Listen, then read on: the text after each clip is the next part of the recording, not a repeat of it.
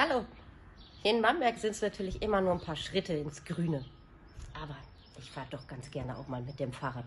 Dann bin ich auch schnell hier in der Gärtnerstadt. Und wenn ich mich so umschaue, sicher jetzt auch hinter mir, taucht der Spargelturm auf.